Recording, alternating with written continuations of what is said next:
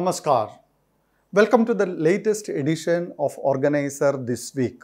The Nupur Sharma episode refuses to die down, even though it was the unwarranted response of some Gulf countries, then it was the brutal murder of Kanhaiya Lal.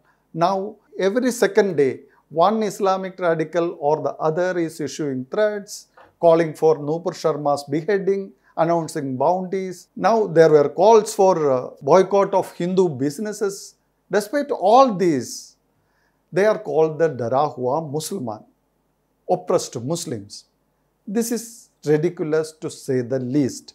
There is a saying that if Islamic radicals are the snakes, then liberals, secularists, and moderate Muslims are the grass where they hide. Last week, we have seen how the judiciary had also waded into this controversy. The observations of some Supreme Court judges during the hearing of Nupur Sharma's petition seeking clubbing together of multiple FIRs lodged against her in several states had kicked up a major controversy.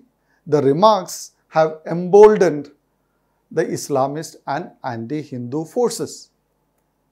By making such indiscreet remarks, the Supreme Court judges have crossed the Lakshman Rekha. The outbursts have serious ramifications for the judiciary and democracy as the nation expects highest dignity, decorum, and poise from the judiciary. Without crossing his Lakshman Rekha, Dr. C.V. Ananda Bose analyzes how judges have crossed their Lakshman Rekha. In this context, it would be in the fitness of things to revisit a blog written by late Sri Arun Jaitley in the wake of the Supreme Court uh, striking down 99th Constitution Amendment passed by Parliament. Jaitley says, and I quote, a constitutional court while interpreting constitution had to base the judgment on constitutional principles there is no constitutional principle that democracy and its institutions have to be saved from elected representatives. In a thought provoking article by Sri Surendra Nathan, spells out the repercussions of the unwarranted outbursts by honorable judges on a majority of citizens. In a straight talk, former judge Justice S.N. Dhingra asserted that the Supreme Court is not above law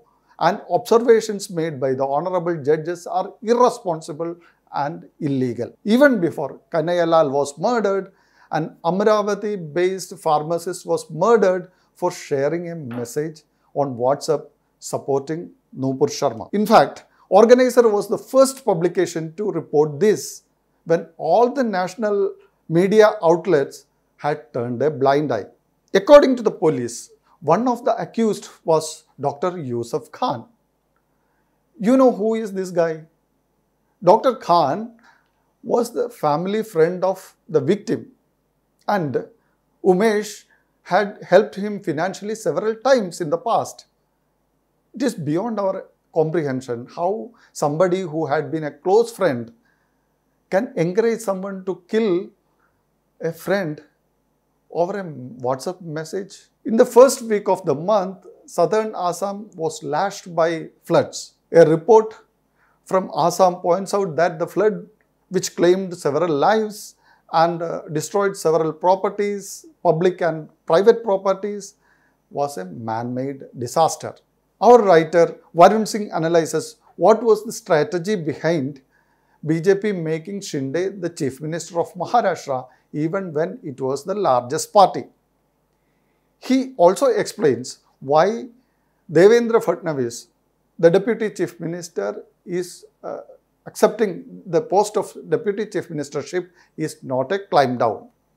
Another controversy that has laid bare the hypocrisy of left, left liberals was the controversy over the Kali film being directed by Leena Manimekalai. She is an atheist and the film being produced to show Hindu Dharma in a poor light.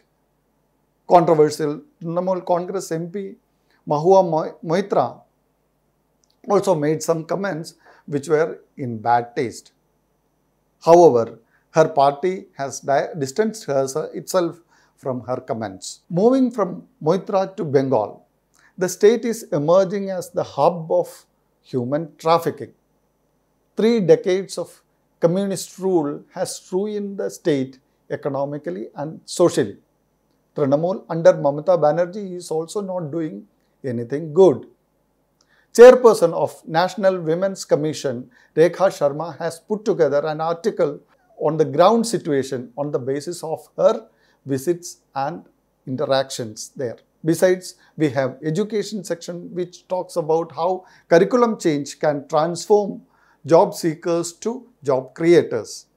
Then we have Dhaval Patel writing how Draupadi Murmu is the right choice for presidentship. Besides, we have regular columns like Unsung Heroes and Temples. I hope you all like the latest edition of Organiser. Do write to us, share your ideas and this is very important to keep our spirits high. Thank you for watching and thank you once again.